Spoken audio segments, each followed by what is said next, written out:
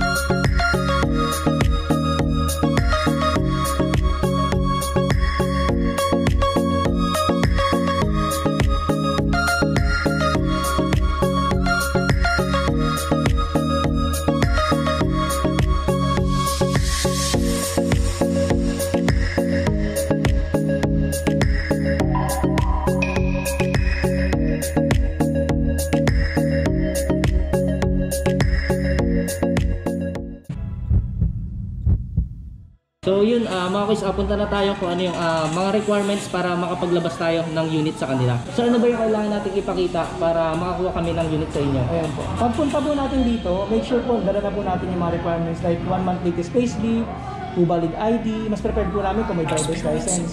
Pero kung ano naman po, mga valid ID po, pwede po at least. Tapos, uh, latest proof of billing po, ah, kahit hindi po nakapangalan sa basta doon sila nakatira. Okay lang, okay lang din po. Business permit kung may business lang po. Pero pag wala po, disregard na po natin yun.